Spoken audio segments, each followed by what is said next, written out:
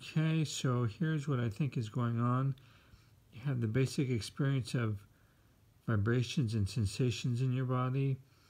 And then just to the left of that, you say, okay, well, maybe these are like waves, a way of describing it. Okay, you have the sensations.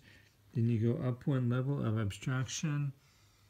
And you say, okay, mind, body, awareness tool. I have I'm like a spirit or a thought process in a body of all kinds of sensations. To the left of that, okay, my body has basic preferences, politics, religion, economics, sexuality, family, preferences. Okay, this is the level of the, body, the spirit in the body. Then the spirit looks at itself and says, oh, you know, this body has all kinds of parts in a very definite organization, parts of the body. And then the sociologist will say, look, it's a vicious triangle. You have population, increases pollution, and that increases poverty, no matter how you look at it. These human bodies are eating up the planet. Okay, that's the level of the human body organization. Then you go up. First of all, you have the brain, and the brain thinks in numbers. You start counting.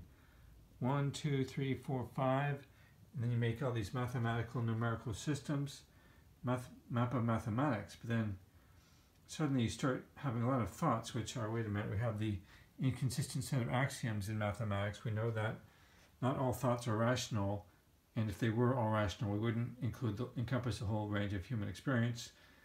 So now what we have here on the left of this one is the irrational axis.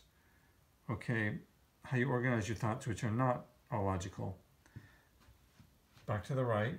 Then we start to notice that the physical world can be mathematically described. So then we go up to this map and um, we have the map of physics. Okay, so the physical world follows these mathematical relationships very closely and all the time. And um, then we start to notice that there are applications to these physical, to these scientific ideas. Um, so then we have um, chemistry, the atomic structure, plus and minus orbitals of electrons, um, like clouds. Okay, but then we go back up to the, this leads to the map of chemistry, but wait, the physical world, this is, to the left of the map of the physical world is family. Okay, here's my family, picture of them the, at the level of structures, physical things that are solid in the world that we're sure exist, the family, you know, your family exists and it's real. Okay, now let's go up to chemistry. Chemistry is a subset of physics. Here's the map of chemistry. These maps were made by Dominic Walliman.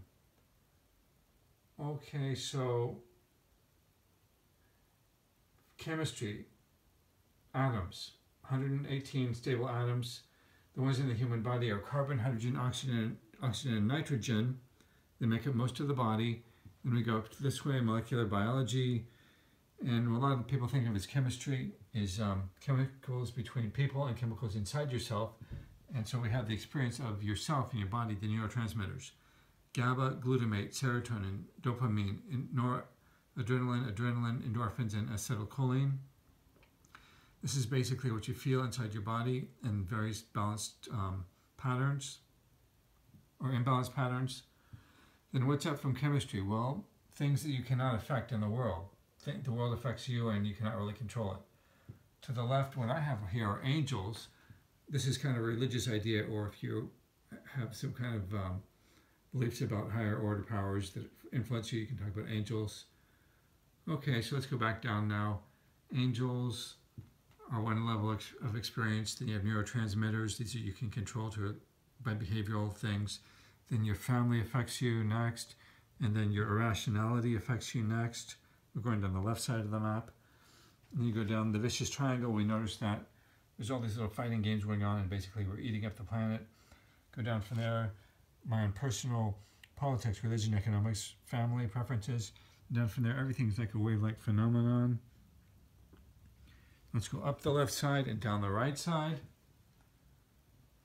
Okay, chemistry is one level of abstraction, then chemistry is a subset of physics. Physics is a subset of mathematics. Mathematics occurs in the brain.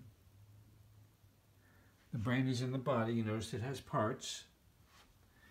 You notice that the body can be thought of as soft and the mind is in the body. And then you have basic experiences of sensations in your body. Okay, well, this is basically what I think is going on. Um, well, what do you think? Leave some comments. Thanks. Have a good day. Goodbye.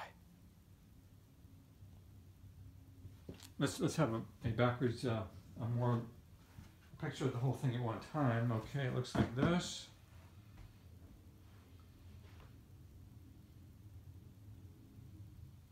Okay, thank you very much. Have a good day. Goodbye.